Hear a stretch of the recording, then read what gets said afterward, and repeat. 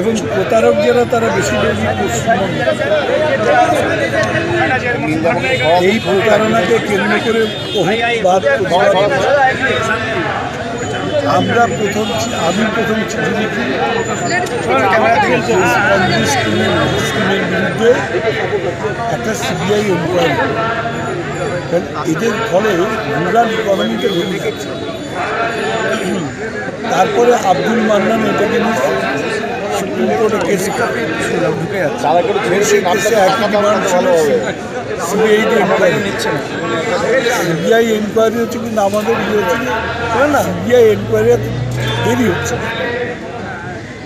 কিন্তু পরে দেখা গেল যে সিবিআই এনকোয়ারি যখন হচ্ছে কলকাতা পুলিশের কমিশনের বাড়িতে সিবিআই যাওয়াতে একটা নতুন পরিস্থিতির উদ্ভব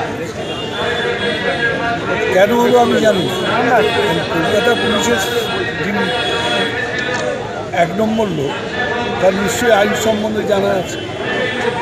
সিবিআই সুপ্রিম কোর্টের অর্ডারে যদি ইনকোয়ারি করতে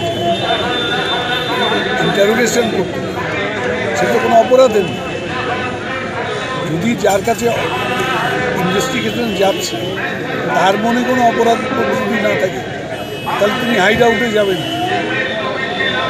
তাহলে যে লোকটা হাইড আউটে যাচ্ছে, তার মনে অপরাধ আছে?